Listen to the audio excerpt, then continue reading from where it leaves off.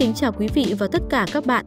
Chào mừng các bạn trở lại với kênh Tâm Phúc TV tiểu sử của người nổi tiếng. Trong bản tin ngày hôm nay chúng tôi sẽ cung cấp cho các bạn thông tin chân dung và tiểu sử của diễn viên Hải Minh Tít nhé.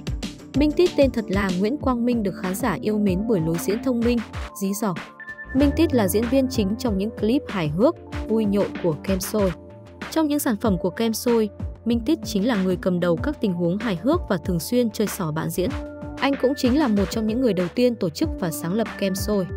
Hiện nay, Minh Tít đang là diễn viên trẻ tại nhà hát kịch Hà Nội. Minh Tít tham gia một số bộ phim truyền hình như Tuổi Thanh Xuân, Sát thủ online, Những cánh hoa trước gió. Minh Tít sinh ngày 24 tháng 8 năm 1989. Anh sinh ra và lớn lên tại Hà Nội, nước Việt Nam. Anh sinh thực cung sử nữ, cầm tinh con, giáp, rắn, kỷ tỵ 1989. Minh Tít xếp hạng nổi tiếng thứ 41.141 trên thế giới và thứ 555 trong danh sách diễn viên hài nổi tiếng. Tổng dân số của Việt Nam năm 2022 vào khoảng 102 triệu người. Minh Tít tốt nghiệp trường Đại học Sân khấu Điện ảnh. Mặc dù tài năng và có niềm đam mê lớn với nghiệp diễn nhưng Minh Tít không gặp may khi mới khởi nghiệp. Anh từng đi casting rất nhiều lần nhưng bị đánh trượt khá nhiều bởi là gương mặt lạ ít người biết đến, ngoại hình hạn chế. Đã có thời điểm Minh Tít mất hết niềm tin vào nghề. Trong chương trình Táo Quân 2017, Minh Tít và bạn diễn Trung Ruồi được kỳ vọng là nhân tố bí ẩn mang lại nhiều tiếng cười cho khán giả. Trung Ruồi và Minh Tít cũng vào vai chính trong bộ phim hài Tết Đinh Dậu 2017 Tam Nam Bất Bần. Series hài Tết độc đáo được xây dựng dựa trên thực tế cuộc sống. 4 năm sau màn chào sân tại Táo Quân, Minh Tít bị nghệ sĩ nhân dân công lý chửi té tát như thế nào? Anh được chú ý khi tham gia các nhóm hài loa phường, kem sôi. Nam diễn viên cũng góp mặt trong một số phim truyền hình như Tuổi Thanh Xuân, Sát thủ online, Những cánh hoa trước gió. Sau màn chào sân tại Táo Quân 2017, Minh Tít, Trung Ruồi được kỳ vọng sẽ là thế hệ kể cận cho các nghệ sĩ hài phía Bắc, thành danh như Công Lý, Quang Thắng, Xuân Bắc, Tự Long. Được nhiều sau khi tham gia Táo Quân, Táo Quân 2017 đã làm thay đổi cuộc sống của Minh Tít như thế nào? Thú thực, khi tham gia đóng Táo Quân, tôi chỉ mong nhận được tình cảm của khán giả, đó là món quà vô giá mà bất kỳ nghệ sĩ nào cũng mong có được. Nhưng vượt xa kỳ vọng, tôi còn được nhiều hơn thế. Tôi được ghi nhận là nghệ sĩ chuyên nghiệp, được gọi bằng nghệ danh của chính mình chứ không đơn thuần là làm hài tự phát trên mạng như trước đây. Các xe của tôi cũng phần nào được cải thiện hơn sau khi tham gia táo quân. Đây cũng là bước tiến trong sự nghiệp và cũng là nền tảng cho nhiều dự án tiếp theo của tôi, là bước đệm để tôi có thêm cơ hội và mở rộng hơn lượng khán giả của mình. Bạn hay nhắc đến tên nghệ sĩ nhân dân công lý trong câu chuyện của mình, đây có phải là người anh lớn của Táo Quân có sức ảnh hưởng với bạn? Không phải đến Táo Quân thì nghệ sĩ nhân dân công lý mới có sức ảnh hưởng với tôi. Ngay từ bé tôi đã được xem những vai diễn của anh công lý tại sân khấu của nhà hát kịch Hà Nội và rất thần tượng anh. Tôi còn nhớ, năm học lớp 6, có một lần khi đang đi xe đạp đi học về, đến đoạn đỗ đèn đỏ thì thấy anh đỗ xe máy ngay bên cạnh. Sững sờ vì không hiểu sao cái lão mình vẫn xem trên tivi, nay xuất hiện ngay cạnh mình, trông lại rất bộ đội nữa chứ, nhìn cứ sợ sợ chứ chẳng thấy hài hài gì cả. Chưa kịp định hình là thật hay không thì đèn xanh đã sáng, lão phóng vút đi, tôi phóng xe đạp như điên đuổi theo gọi liên tục anh công lý ơi. Cả phố quay ra nhìn tôi cười như thằng điên ý, nhưng tôi chẳng ngại, chỉ là bày tỏ tình cảm ngưỡng mộ với thần tượng thôi mà. Vì thế khi lớn lên tôi đã theo học nghề diễn viên tại trường Đại học Sân khấu Điện ảnh và tôi không nghĩ có ngày mình được đầu quân về nhà hát kịch Hà Nội, bất ngờ hơn có ngày mình lại là cấp dưới của nghệ sĩ nhân dân công lý. Nhưng cũng có ý kiến cho rằng bạn đang đu theo tên tuổi của nghệ sĩ nhân dân công lý. Tôi không quan tâm tới tin đồn đó. Thú thực, mọi người nghĩ tôi dựa hơi nghệ sĩ nhân dân công lý cũng chẳng sao, bởi không có công lý sẽ không có minh tít của ngày hôm nay.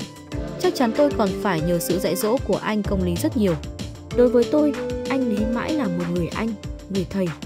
Ngược lại, đối với anh Lý, tôi sẽ luôn là một người em, người học trò cho đến mãi về sau. Tôi thừa nhận mình đã chịu rất nhiều ảnh hưởng từ anh Lý, thậm chí từ câu chuyện của chính anh cũng tác động đến tôi rất nhiều. Nghệ sĩ nhân dân công lý từng chia sẻ cho tôi và nhiều anh em trong nhà hát về việc nghệ sĩ hay ca sĩ bị ảnh hưởng thần tượng của mình trong nghề là điều rất bình thường và anh Lý cũng không ngoại lệ. Học thì cứ học nhưng phải biến cái hay của người khác phù hợp với mình, đó là điều anh công lý luôn nhắc nhở chúng tôi. Anh Lý kể, nghệ sĩ nhân dân Hoàng Dũng là một người anh mà anh Lý rất yêu mến và kính trọng. Bản thân anh cũng từng chịu ảnh hưởng rất nhiều từ nghệ sĩ nhân dân Hoàng Dũng, cả từ cách ăn mặc cho đến lối diễn xuất. Nhưng đến ngày hôm nay anh Lý đã khẳng định được tài năng riêng biệt và được khán giả nhớ đến là một nghệ sĩ nhân dân công lý chứ không phải là bản sao của một ai khác. Là một nghệ sĩ trẻ, bản thân tôi phải cố gắng rất nhiều.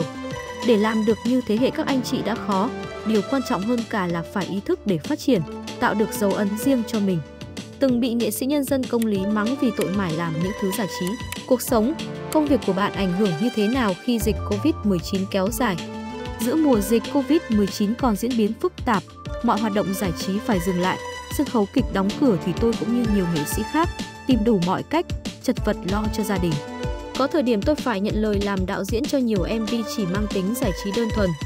Cuộc sống ai cũng lo toan bộn bề.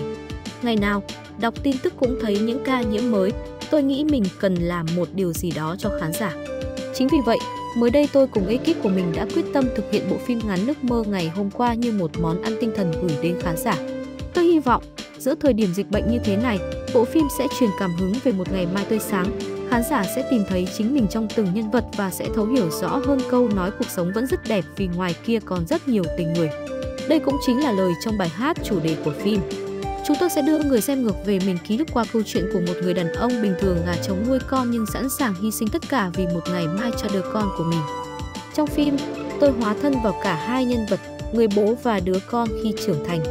Thời điểm khó khăn, dịch bệnh, tại sao bạn mạo hiểm làm phim? Nghệ sĩ nhân dân công lý đã tác động rất nhiều đến suy nghĩ nghệ thuật của tôi. Thời gian trước, vì cơm áo gạo tiền, con lại mới chào đời nên tôi phải lo rất nhiều cho cuộc sống gia đình.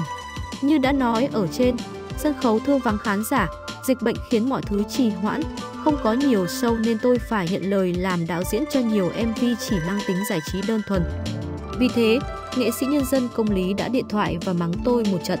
Tôi đã đến gặp anh và nhiều lần ngồi tâm sự, anh hiểu rõ việc áp lực kinh tế của người giữ trụ cột trong gia đình. Nhưng anh muốn tôi phải hiểu rõ, dù có làm gì thì người nghệ sĩ vẫn phải cho ra mắt những sản phẩm mang ý nghĩa, truyền cảm hứng đến khán giả.